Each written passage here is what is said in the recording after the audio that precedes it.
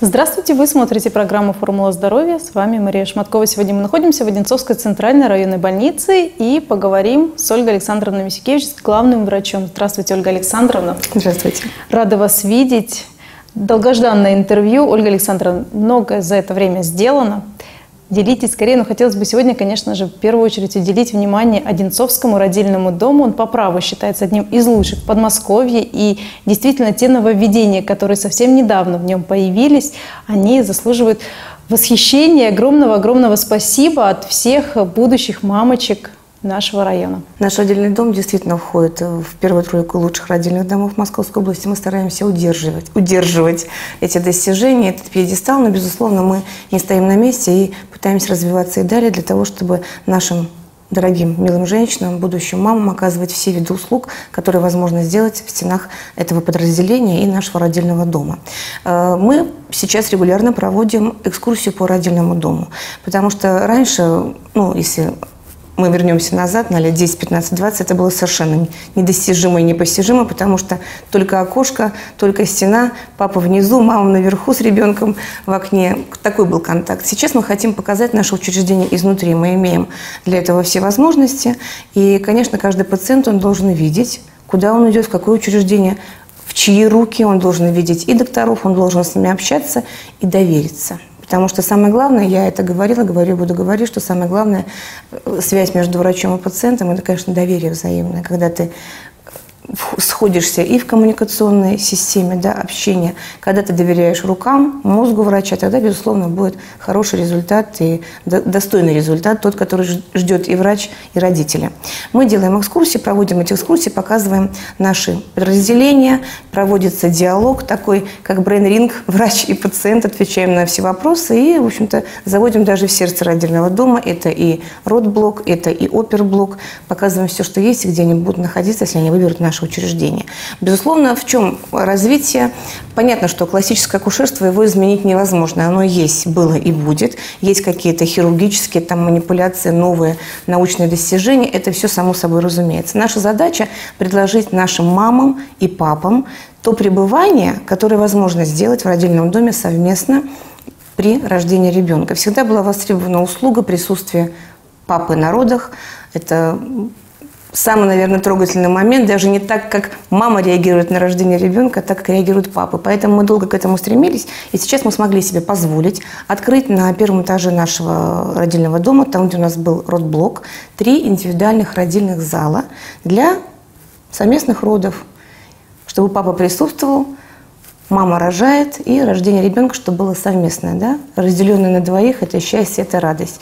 Эта услуга не платная, она бесплатная по системе ОМС для жителей Одинцовского района и города Одинцова.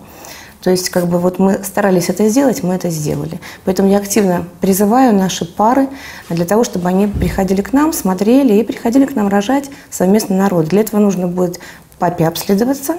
Это флюорография, анализы те, которые в стандарте, они у нас есть, на сайте можно их посмотреть. Придя на экскурсию на День открытых дверей, это все скажут, и спокойно двоим поступать на эти роды, вдвоем поступать на эти роды. Это действительно будет. В приемном отделении будет уже будут принимать конечно. не только мамочку, да, но и да. отца но, но и отца, да, у него будут проверять документы, если они у него.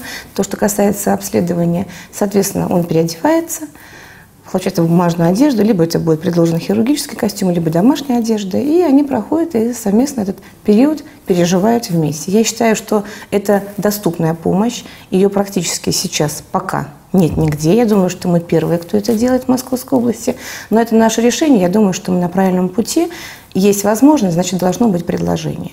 Безусловно, у нас есть и платные услуги, их никто не отменял, но это другая история. Это программная, это программный продукт по внебюджетным как бы, да, доходам и так далее.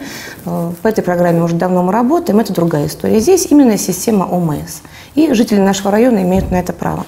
Помимо этого мы ввели еще одну услугу, потому что тоже как бы логистику проводим, мы понимаем, понимаем, да, рождение ребенка оно настолько ожидаемо, 9 месяцев, что папы и мамы забывают на какой-то период, что дети плачут, что они беспокоятся, и не всегда счастье, оно сопряжено с покоем каким-то, да, все-таки это уже начинается беспокойное время, тревожное, а любовь, она захлестывает к ребенку, и мы переживаем, волнуемся, это нормальное состояние, но с процессом жизни мы все-таки адаптируемся к, нашим детям, да, и мы уже становимся более грамотными, более подкованными родителями.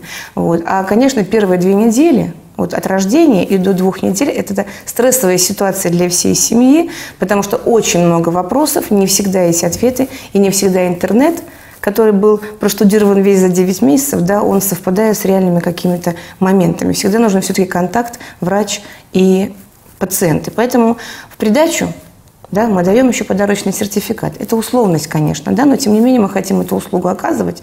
Тоже бесплатная услуга для того, чтобы когда у родителей новорожденного ребеночка появляются какие-то вопросы, э, они могли прийти в родильный дом к специалистам акушеру-гинекологу, неонатологу, э, специалисту по грудному вскармливанию и психологу обратиться с какими-то своими тревогами, проблемами и так далее. С 8 утра до 8 вечера ежедневно, в любое время удобное для них, их проконсультирует один из этих специалистов по их требованиям в течение двух недель после родов. Это не значит, что у них не будет патронажа поликлиники. Безусловно, будет патронаж из поликлиники. Безусловно, поликлиника будет выполнять все те обязанности, которые они должны делать, но мы еще даем вот этот бонус для контакта и для рассеивания своих тревог, но и, безусловно, для оказания э, медицинской помощи, которая может быть необходима ребенку, или консультативный прием для родителей. Но более того, все те пять или семь или три дня, пока мама с малышом находится в Одинцовском родильном доме, с ними постоянном режиме ведут э, и помощь оказывают, и беседы проводят неонатологи, и педиатр приходит. То есть это ну, целая огромная работа. Безусловно, за это количество времени, если мы, конечно, хотим, чтобы все роды были легкими, чтобы они были без осложнений, поэтому если у мамочки все благополучно прошло, ее индекс здоровья соответствовал тому, чтобы роды перенести без проблем, это такой вот курс молодого бойца в ускоренном, в ускоренном режиме. Но э, сотрудники родильного дома, они открыты к диалогу, и всегда мы стараемся, чтобы обход был неформальным. В крайнем случае, я как главный врач всегда требую это от специалистов да, данного подразделения, чтобы обходы не были формальные. Как я смеюсь и говорю, э, врач должен зайти целиком в палату вместе с ногами, находиться в палате 20 минут и ответить на все вопросы пациентов. И шутя говорю, что не должна зайти в палату только половина врача, а вторая половина уже бежит в операционную. Обход должен проводиться планомерно, терпеливо, грамотно нужно ответить на все вопросы. Если пациент молчит, либо он стесняется, либо какие-то еще существуют проблемы, пациент должен спрашивать. Тогда он получает максимальный ответ и уже будет более в сбалансированном таком состоянии находиться в учреждении. В родильном доме огромное внимание уделяется э, пропаганде грудного вскармливания малышей. И есть у вас специалисты по грудному вскармливанию. Расскажите об этой работе. Это действительно очень актуально и очень важно. Не всегда все женщины понимают до конца да, да, да, важность кстати, этого момента. Да, кстати, именно кормление грудью и в первые несколько суток вызывает жуткий стресс да, у пациенток, потому что тоже существуют анатомические особенности молочной железы, и не всегда все проходит гладко. часто бывает такое э, состояние, как лактостаз. Я не могу назвать его осложнением. Это не осложнение, не заболевание, это физиологическая особенность данного процесса кормления. Лактостаз. Да, это некомфортно, это болезненно, это вызывает э, у женщины смятение. Смятение, панику и определенный, конечно, дискомфорт. Именно в эти моменты пациентка не должна оставаться наедине с собой, она должна привлечь специалиста, медицинских работников и акушерку, медсестру, специалиста по грудному скармливанию, доктора, любого, потому что все сотрудники в роддоме, они знают и тактику, и методику, и профилактику, и лечение данных процессов, потому что вызывает действительно панику, правда. И когда эта ситуация не разрешается, то тогда уже конечно, начинаться осложнения. Поэтому лактация – один из сложных моментов пациентов в период э, после Но без помощи после вашей это э, практически сохранить ее в ряде случаев будет невозможно. Конечно, с конечно. ваших специалистов. Да, безусловно. Поэтому двери наши открыты. И именно, как правило, проблемы начинаются еще и после выписки. Вроде бы в роддоме все хорошо, все понятно, все нормально, потому что они находятся в режиме онлайн с медицинскими работниками. И когда дома остаются наедине сами с собой, особенно девочки, которые рожают первый раз, первородящие, наши женщины, наши мамочки, безусловно, они могут быть в какой-то панике, им могут быть какое-то непонимание, им нужно показать, пояснить, поэтому именно в этот период они могут приехать и э, получить все ответы на вопросы и даже работу. У нас прекрасное отделение физиотерапии, мы работаем по молочной железе в послеродовом периоде как раз в этом направлении. А грудное вскармливание в родильном доме уже очень давно, около 20 лет. Кстати, мы были, э, наш родильный дом самый первый э, был в пилоте. В таком пилоте был в свое время. И мы очень так быстро подхватили всю эту тему и удерживаем ее до сих пор. И у нас это все в приоритете. В Одинцовском родильном доме роды есть не только обычные, но есть и необычные. Есть вертикальные роды. Вот расскажите об этом направлении. И на, одним, на одном из дней открытых дверей мы тоже присутствовали, разговаривали с мамочками, которые выбрали именно этот вид родов, и они рассказали, почему они это сделали. Хотелось бы от вас, как от специалиста, услышать, почему вы решили вести это направление, и почему, на ваш взгляд, оно становится все более популярным и востребованным. И женщины выбирают именно такой процесс родов.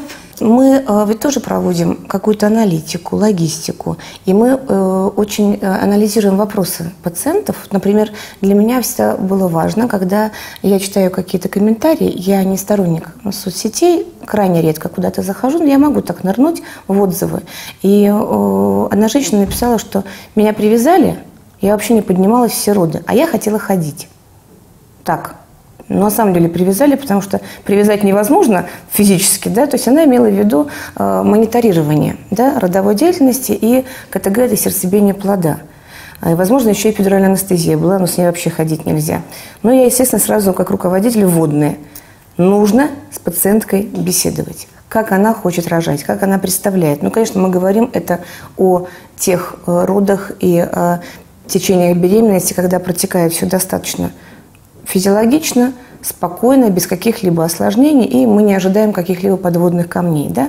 У нас для этого абсолютно и все. Это и роды с мечом, это и роды в воде, потому что многие женщины хотели рожать в воде при диалоге. Я имею в виду многие не с общего количества 5000 родов, да, а многие, которые приходили на беседу. А у вас возможны роды в воде? Да, мы можем сказать, что да, возможно. Роды в воде это возможно сейчас. Я не скажу, что роды в воде сторонница этого процесса, но, тем не менее, мы стараемся оказать женщине данный вид услуги, потому что он востребован. А, и, конечно, вертикальные роды. Вертикальные роды мы э, сейчас широко применяем, их, наверное, больше 50% уже сейчас.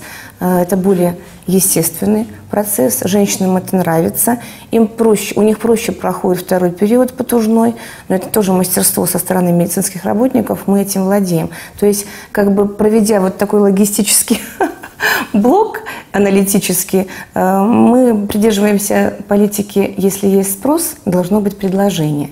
Мы это освоили, поэтому, в общем-то, ну, невозможных этих невозможности в этих вопросах у нас уже не существует. Ну, то есть самое интересное, что на вертикальные роды идут именно те мамочки, которые, как правило, или второго, или третьего ребенка да, да, рожают, да, да. и они говорят только так, только так. То есть был первый опыт, и они сравнили, и вот это, конечно, здорово. Мне приятно как руководителю, когда я знаю, что это проходит. Мне очень приятно, что э, легко работать в этом аспекте с сотрудниками родильного дома, да, потому что коллектив слажен слажены, коллектив сплоченный, они движутся и развиваются в направлении только вперед. Это всегда очень приятно смотреть со стороны, потому что я как бы немножко уже ушла из родильного дома и страдаю, безусловно, страдаю и скучаю, но со стороны мне смотреть очень приятно, да, те нововведения, которые проводятся, и руководитель, который сейчас в роддоме, Алексей Владимирович Горшилин, он подхватывает всю идеологию, которая есть у главного врача больницы, и все это внедряется очень быстро. Э, в таком ключе легко работать, безусловно. И я думаю, что мамы наши будут довольны. Мне было очень трогательно на последнем дне открытых дверей, потому что было очень большое количество э, и семейных пар, и мамочек. Это было на самом деле очень трогательно, потому что пришли и посмотрели. А, а нам было что показать. Поэтому это тоже Какие очень... впечатления у вас, Ольга Александровна, остались после общения с мамочками? Вы, ну, давайте говорить честно, нечастый гость, конечно же, на Дне открытых дверей в Одинцовском родильном доме, но такой долгожданный, потому что Да. большая часть, конечно же, гостей пришло именно потому, что была назначена встреча с главным врачом с вами.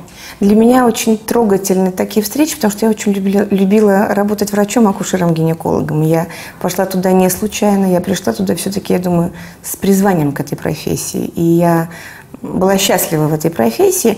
Приятно то, что в этой профессии есть продукт. Ребенок – это самое большое счастье. И для меня, как для врача, именно это имело ключевой момент. Наверное, я не смогла бы стать хирургом, гнойным хирургом, травматологом. Наверное, это была бы история не обо мне. И сердечным бы доктором я тоже не стала. А вот акушер-гинеколог все-таки, наверное, из-за детей. Потому что ты первый берешь его в руки, ты первый его видишь. И поэтому было приятно находиться при присутствии такого большого количества беременных мам, а, потому что многие из них были не первый раз в роддоме. И многие говорят, Ольга И они- Александровна, вы помните? Да, да, да, это очень приятно. А вот девочки уже лет 10. Да, девочки лет 10, и очень приятно, что из них рожали уже и придут к нам за третьим ребенком, ведь это и есть э, самый основной знак качества работы учреждения. Когда пациентка приходит не единожды в учреждение, да, ведь бывают разные ситуации. Пришла один раз, ушла в другое место. Для меня всегда это было болезненным вопросом. Почему? А что произошло?